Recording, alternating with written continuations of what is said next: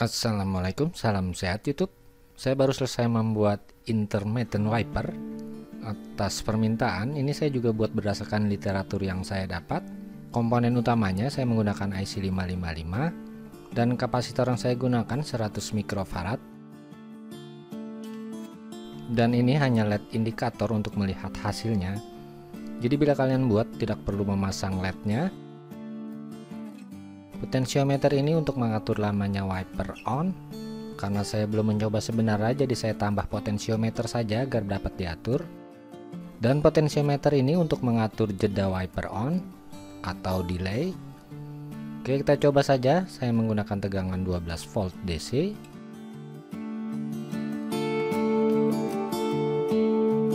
Ya, sudah on dan berkedip.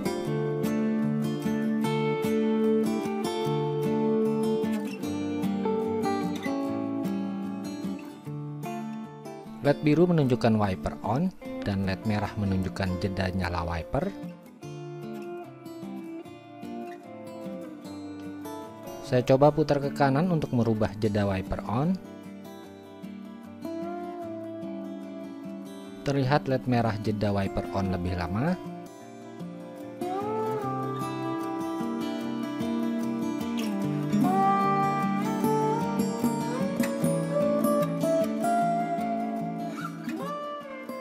Saya putar ke kanan kembali. Akan lebih lama waktu jedanya.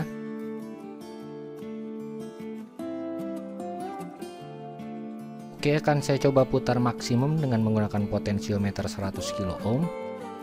Perhatikan lama jedanya. Rangkaian ini bisa jeda mulai dari setengah detik sampai 70 detik Bila menggunakan potensiometer 1 mega ohm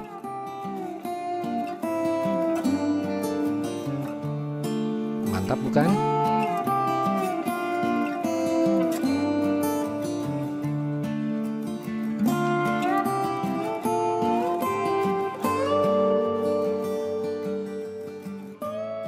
Bagaimana rangkaiannya? Sebelumnya kalian jangan lupa untuk mendukung channel kita dengan cara subscribe yang belum pernah tentunya. Bila ingin berlangganan secara gratis, klik yang bernama lonceng. Oke, rangkaiannya seperti ini. Sederhana bukan? LED ini hanya LED indikator untuk percobaan. Jadi bila kalian buat, jangan menggunakan LED. Dan R2 kilo ohmnya juga tidak perlu. Dan untuk pembangkit pulsa saya menggunakan IC 555. Rumus lamanya wiper on sama dengan 0,93 R1 ditambah VR2 dikali C1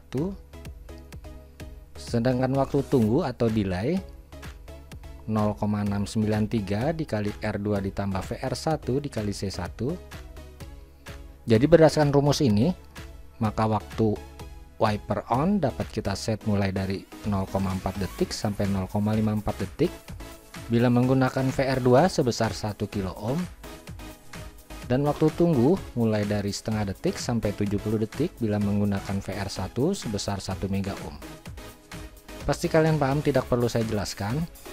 Oke, lalu bagaimana cara penyolderan agar tidak perlu PCB? Bagi para pemula untuk menentukan pin IC 555, perhatikan saja yang sedikit lubang ini. Jadi ini pin 1 2 3 4 5 6 7 8.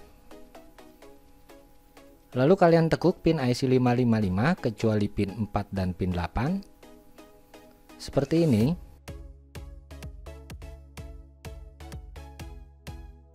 Lalu pin 4 dan pin 8 kalian tekuk di sisi bawah IC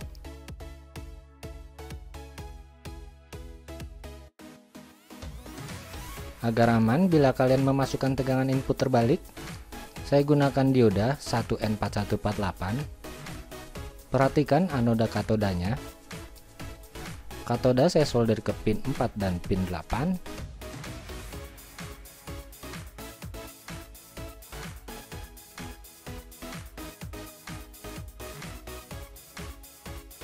Kemudian kalian sambung dahulu pin 2 dan pin 6. Saya solder pin 2. Lalu ke pin 6 saya solder. Perhatikan ini saya sudah beri head ring agar tidak short. Lalu pasang kapasitor 104 di pin 1 dan pin 5. Oke, saya solder di pin 5 saja, yang di pin 1 nanti saja. Lalu pasang kapasitor 100 mikrofarad. Akan saya pasang pada pin 6 dan pin 1. Saya solder positif kapasitor ke pin 6 dan negatif kapasitor ke pin 1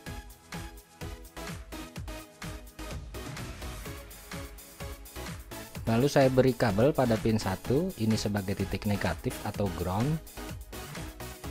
Dan pin 2 saya beri kabel.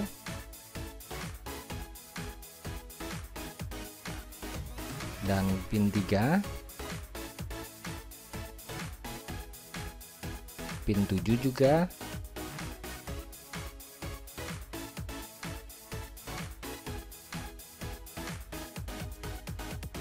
Agar rapi dan kokoh saya beri headstring yang ada kabelnya saja.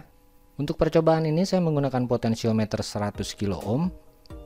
Bisa kalian gunakan berapa saja, misal sampai 1 mega ohm.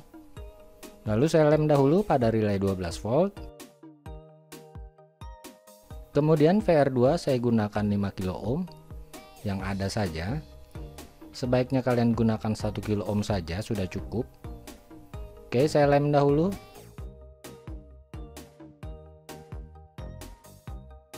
Kemudian IC 555 saya lem juga.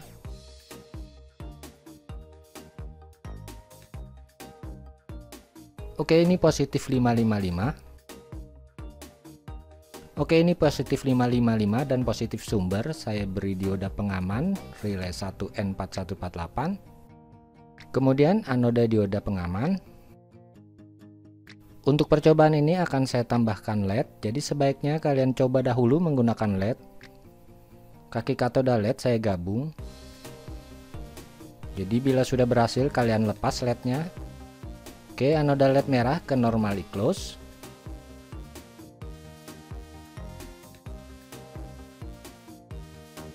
Dan anoda led biru di normally open. Kemudian kolektor BC547 ke anoda relay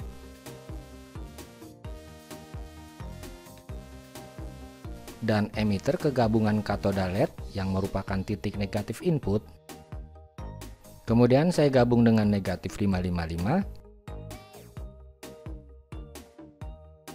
dan saya beri kabel input positif ke katoda relay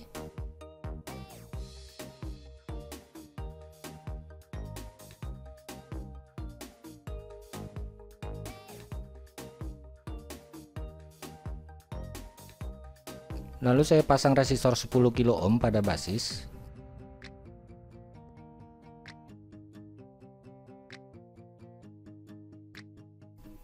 Dan ujung resistornya ke pin 3555.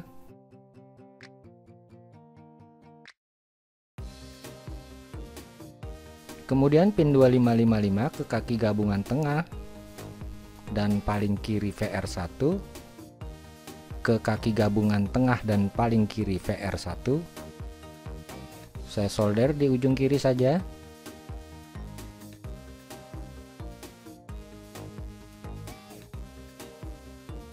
Lalu pin 7555 ke gabungan potensiometer VR2 untuk mendapatkan waktu jeda minimum wiper saya seri saja resistor 10 kilo dengan 4K7 ohm ini didapat sekitar setengah detik waktu delay. Lalu solder ke VR2 pin 755 dan ujungnya satu lagi ke VR1 di ujung kanan.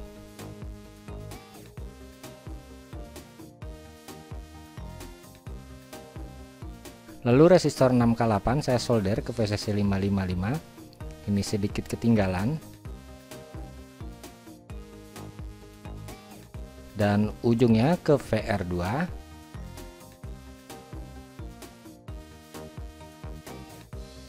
terakhir dioda 1N4148 ke kaki pin 7 ke VR1 tengah. Anoda saya solder ke pin 7 saya beri headstring dahulu agar tidak short lalu katoda ke kaki tengah VR1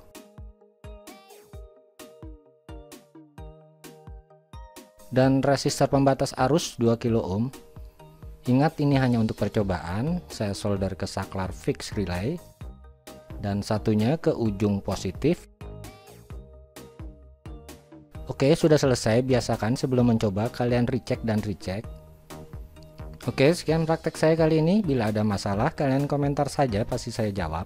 Terima kasih telah berkunjung. Wassalamualaikum warahmatullahi wabarakatuh